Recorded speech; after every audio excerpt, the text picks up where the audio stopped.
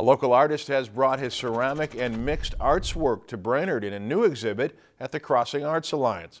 The exhibit features the work of Pine River's Cyrus Swan as he combines the disciplines of function, domestic installations, and wall art through his ceramic pieces, paintings, and other art forms.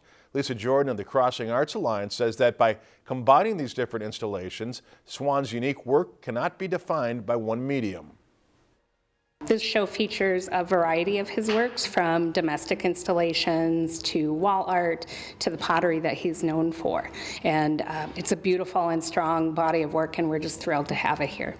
The exhibit runs through March 3rd at the Crossing Arts Alliance in downtown Brainerd. If you enjoyed this segment of Lakeland News, please consider making a tax-deductible contribution to Lakeland PBS.